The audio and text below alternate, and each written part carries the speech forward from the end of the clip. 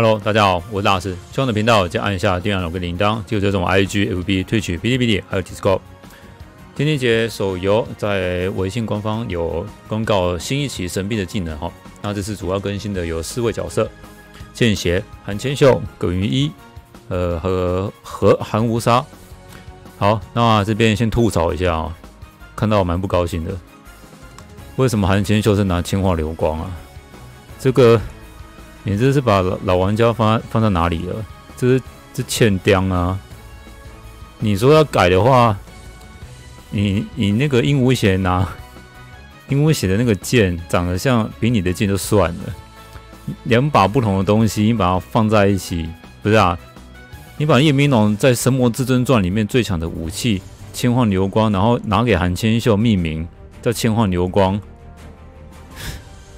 我也不也不是说，当然这个是小细节啦，但是你让老玩家看到的话，大家老玩家都是个问号，好不好？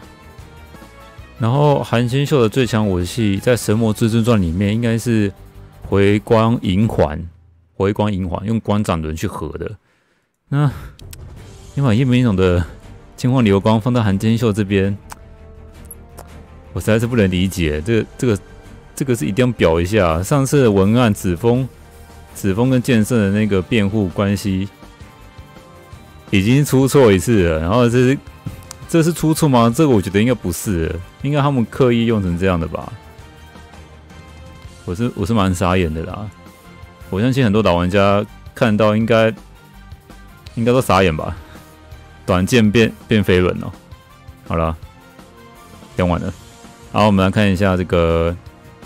剑邪的剑邪幽黄罗剑，我觉得还可以接受。好啦，十指御风，好，这个一样。我们看一下哦，技能天魔在临，使用绝学后可以获得魔煞的状态，持续两回合。那回合开始时，对周围两圈内所有敌人造成零点二到零点四倍范围伤害，哈，并且施加一个随机有害状态，不可驱散。然后。不可驱散是指魔煞受到伤害后会消失哦。哎，受到伤害后会消失哦。那也就是说，放完之后，见血得到魔煞的状态之后，那见血就不能动了嘛？那这个时候敌人打见血的话，那就消失哦。不可驱散是指魔煞吗？还是指这个有害状态？应该是指魔煞吧？哦，如果是这样，如果是指魔煞的话。那就要小心，不能让剑邪被打到，感觉不是很好用哎。但是它就是会有一个范围伤害了，就是下一个回合的时候会有一个起始就附加一个有害状态，然后跟一些一点点伤害。不过这应该是要被打到人才会施加有害状态吧？看起来是这样。如果他这样写，我看不太懂。这个括号是指魔煞还是指这个有害状态？感觉是指魔煞。那如果是指魔煞，我觉得很不好用哎，感觉蛮不好用的，就普普啊。呃，策划说看有没有解释哈。见血有高机动性，然后拥有神秘技能见血可以能够被提供最多两次的范围伤害和随机有害状态。后续然后魔煞状态需要被攻击后才哦，OK。哦，这边有补充，这一句话是指魔煞哈。需要被攻击后才解除，可以在流火中使对方更加难以跳过间歇去攻击后。哦，讲是这样讲了，这看起来就很难用啊。嗯，因为你基本上你间歇放完招式之后，只要敌人先打间间歇就好了啊。不过啦，就是有些人可能会先打其他人的话，你如果不先打间歇，间歇身上有魔煞的话，的确是有点小小干扰。我觉得还是看使用方式啊，不过单看下来，我觉得还好。好，如果有更强的操作方式，欢迎在底下留言告诉我哈。然后再韩千秀啊，那天荒流光，我们看一下他的技能会不会拯救韩千秀一下。惊鸿照影，每造成一次暴击哈，获得惊鸿状态，持续两回合。那造成伤害后，对目标施加流血状态，持续一回合。OK，那流血是固伤哈，施加者的物攻三十趴。那金红是哦，物攻提高一趴到五趴，最高三成。哎，看起来好像好像还可以。那策划说这边补充说明的话，神兵技能可以使他每一次暴击上可以叠加哈，那最高是叠加三层。哦，也就是最高是五五趴就对了，然后三层就十五趴。哦，那蛮多了，那蛮多了。然后那这样子，黄金秀是一定要带赤焰鬼会比较好，打出暴击，然后造成伤害后又可以使目标流血哈。我说那还不错，我觉得还可以。黄金秀的这个我觉得还不错。然后再来是葛云一的哈，君天龙玉。现在大家还有在弄葛云一吗？然后技能神境相袭。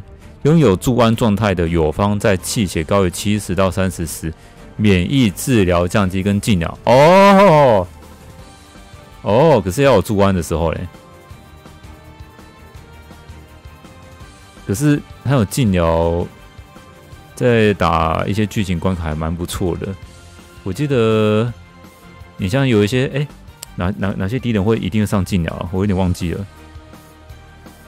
不过这还不错哦。和治疗转伤害这个状哦，这个就不错。不过看起来是打特殊关卡用的比较多，像那个那个啊，那个妖怪叫什么名字？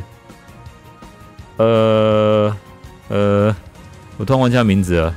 反正就是一个妖将吧，一个妖将。然后他不是他的天赋是，你只要在他旁边回血的话，你就会变成伤害嘛。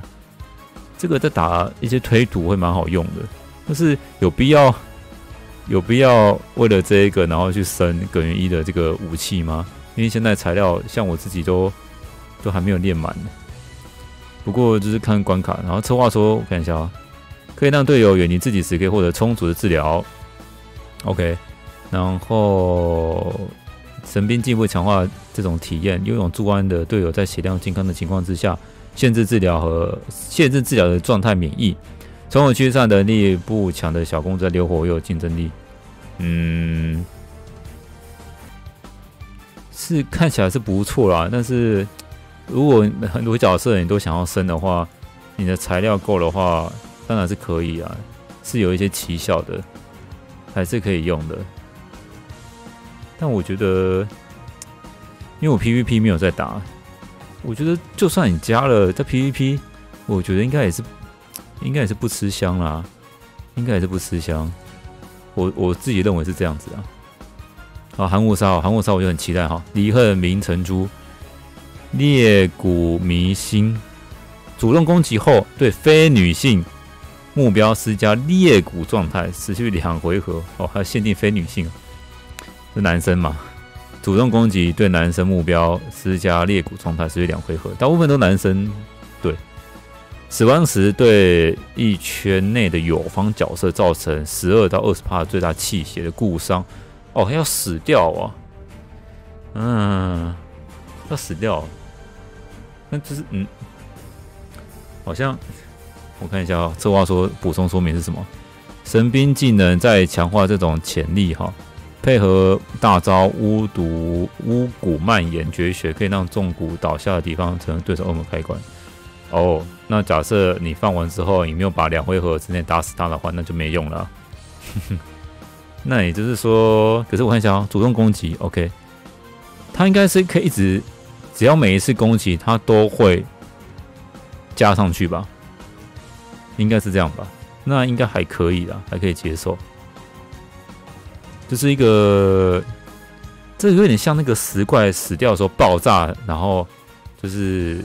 造成伤害的概念呢，是还蛮是还 OK 啦，有一些关卡是蛮 OK，而且是最大气血的固体伤害，啊，造成二十趴最大气血的固伤，还可以啦，还可以，就有点像石怪爆炸跟剑魂爆炸的概念，还行。不过里面最好的，我觉得我觉得改最多的是寒千秀，哎，寒千秀这个叠加三层，我觉得这个还不错。可是，如果我啦，如果是以这四支的话，我会先升寒千秀，然后再再升寒无杀、剑邪跟耿云耿云一吧。剑邪跟寒无杀，我觉得是两个差不多。我我自己会是这样子。我觉得寒千秀我会考虑，诶，这个我就觉得不错，而且还有流血，我觉得蛮不错的。好了，那这一期的神兵技能的介绍就到这边啦。那喜欢的频道，记得按下订阅按钮跟铃铛，记得追踪我 IG、FB、Twitch、Twitch、哔哩哔哩还有 Discord。感谢各位今天的收看，拜拜。